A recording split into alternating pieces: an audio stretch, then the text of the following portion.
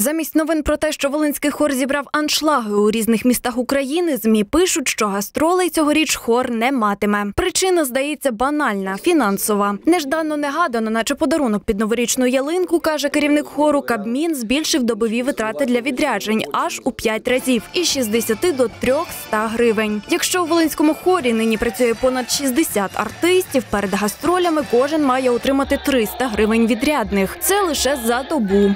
Якщо дві, е, от е, якщо їхати у Львів, на це, не так далеко, ми не повернемося за одну добу, тобто вже дві доби. То концерт навіть у Львові дві доби, ну 36 тисяч тільки на виплати добових, плюс розходи транспортні. Ну, Ось це той самий автобус Волинського хору. Ним артисти лише вчора приїхали з новорічно-різдвяного фестивалю, який прогодів у Івано-Франківську. Ці гастролі, каже Олександр Стадник, одні з тих, які не довелося скасовувати через брак грошей, бо і відрядня, і виплати на бензин, проживання і харчування артистів взяли на себе організатори фестивалю. А ось ще минулоріч заплановані концерти у Млинові та Червонограді таки довелося скасувати.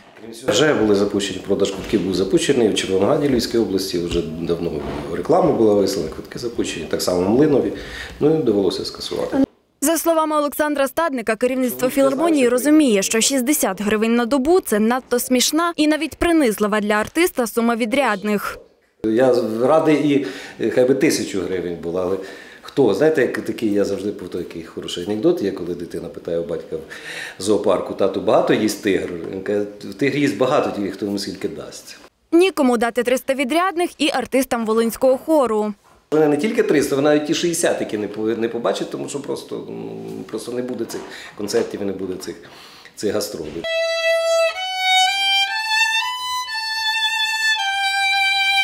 Пані Алла працює у Волинському хорі ось уже 22-й рік. Новині про збільшення відрядних, як і більшість артистів, спершу раділа. 60 – це така трохи смішна сума, як Дуже смішна. На добу це дуже смішна сума. 300 це, звичайно, зовсім інша розмова.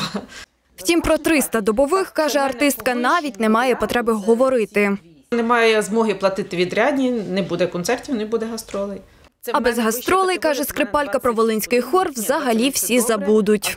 Якщо в нас не буде концертів, не буде гастролей, то кому ми будемо потрібні? Наша ж робота за- заключається в тому, щоб ми все-таки виступали на сцені, несли музику, пісню, танець в народ, то без гастролей нікуди.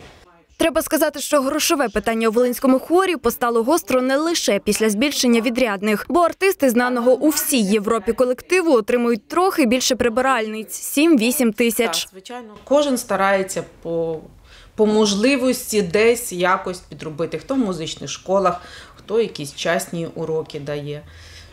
Хтось може зовсім іншою специфікою таксує. Хто як. Звичайно, прожити на такі зарплати неможливо. Зазначимо, що Волинський хор існує як за гроші, зароблені на концертах, так і за рахунок дотації із обласного бюджету. В облраді пояснюють, збільшити дотацію на діяльність хору нині неможливо. Мовляв, цьогоріч на обласний бюджет впало і так багато додаткових витрат. Це утримання лікарень, закладів профтехосвіти та зарплати медикам.